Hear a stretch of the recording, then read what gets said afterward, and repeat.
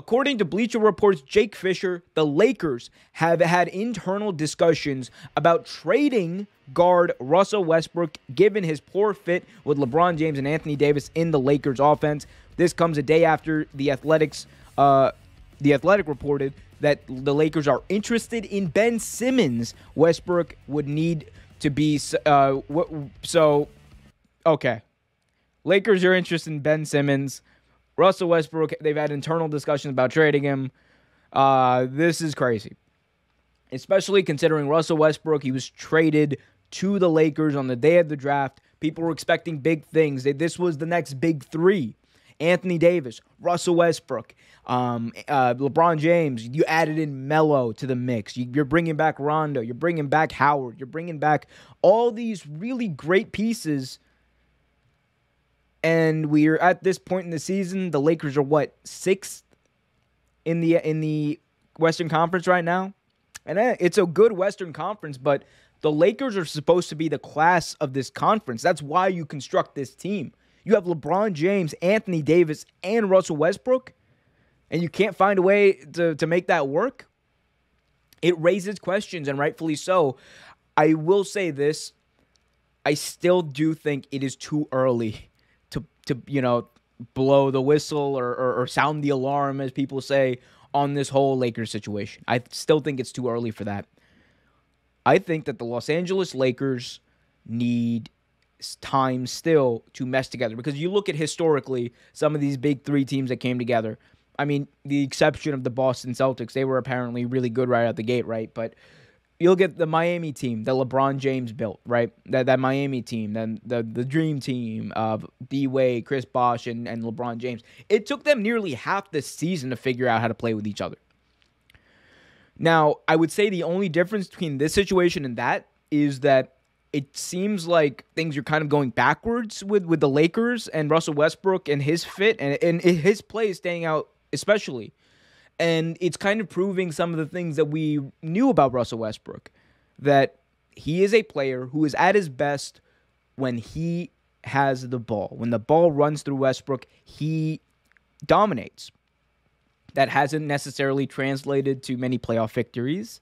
That hasn't necessarily translated to Russell Westbrook and his team winning games. Uh, that has not translated, obviously, on the Lakers at all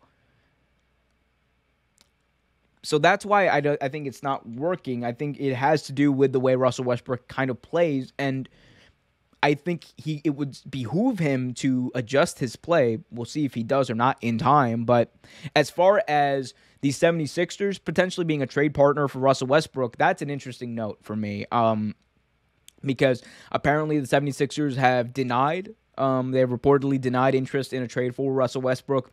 We know that Ben Simmons is still not a member of that team. Ben Simmons is still not um, on the uh, like he's still not showed up to practice, and you know they're not gonna. That's he's demanded a trade. We I don't think that situation is gonna be mended for anytime soon. So it brings up his name. And I think the 76ers, as far as them not being interested, they're not interested until they are interested, right? When you when the Lakers call them up and legitimately put Russell Westbrook on the table, I think it's going to change the tune of whether or not they're seriously interested. Uh, the reason I say that is because right now you're dealing with Ben Simmons, who is on a max contract, who is burning money, who's burning cap, who it doesn't want to be on your team, and you have a chance to get someone like Russell Westbrook, who bare minimum, he's going to show up and he's going to score points, hopefully, and at least do something and, and be that ball dominant guard that, you know, you kind of wanted Ben Simmons to be. Will it work with Joel Embiid and, and, and them boys over there?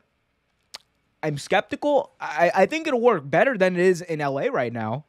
Just because I think I think Embiid as a center, as a large as a big, it, it, it actually helps Westbrook out more because he's going to be able to He's going to be able to get Embiid the ball, and he's going to be able to, you know, kind of take his own because that's kind of Embiid's role as well to kind of, you know, just be there, just kind of be there sometimes. But you know, I think two dominant players that play on the direct opposite end of the starting lineup that'll work better than what the Lakers have going on with Westbrook and how he plays. That's just my opinion.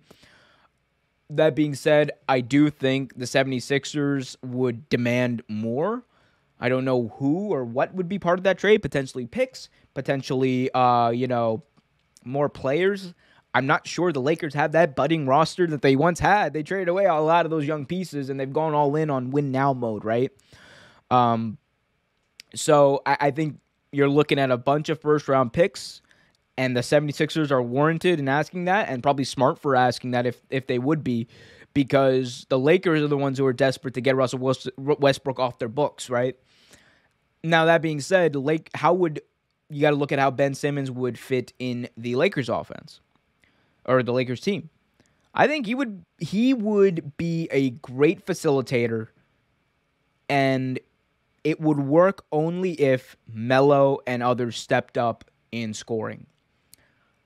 If Melo specifically does not step up in scoring, which he, he's shown that he can do at, at times this season, I'm not sure what uh, how successful it's going to be because Ben Simmons just can't shoot. Like we know this. It's not it's not a secret. It's no, you know, I'm not breaking news anyone. I'm not triggering. I shouldn't be triggering anyone. It's just the truth. Ben Simmons can't shoot the ball. He hasn't been able to his what 4 or 5 years now in the league. And, you know, he that's okay. He probably shouldn't be a max contract player, but that's okay because he can do a lot of other things very well. He's a great elite passer in my opinion.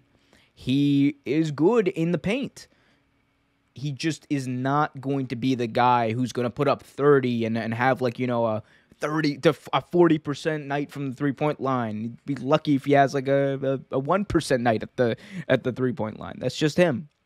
And that's just how he is. But thanks for watching this video from Real Take Sports Talk. Remember to like, share, subscribe, hit that notification bell so you get notified whenever a new video is released. Also, remember to check out our live show every single Thursday at 8 p.m. right here on the YouTube channel. And remember, keep it real.